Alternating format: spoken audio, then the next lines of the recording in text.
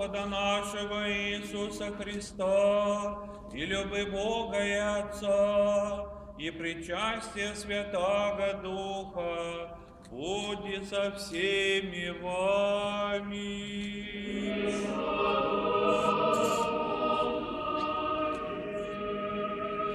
Горе имеем сердца.